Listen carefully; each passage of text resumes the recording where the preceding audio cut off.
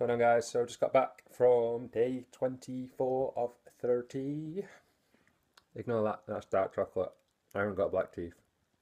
I've just had some dark, 81% dark chocolate. And I got it all around my teeth.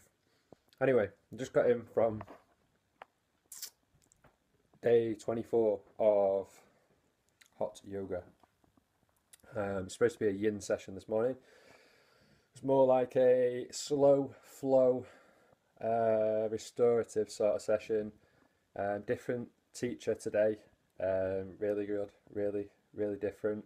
Um, she used some bells, she had a bit of a song at the end, did a lot of holds. Um, she's using words like delicious stretch and beautiful posture, and yeah, it was it was different, but um, yeah, it was good. It's really good. Um, so far, so good. Like I say, six days left, five days left, I think and yeah, it's going great. I'm going to continue on. I will speak to you tomorrow.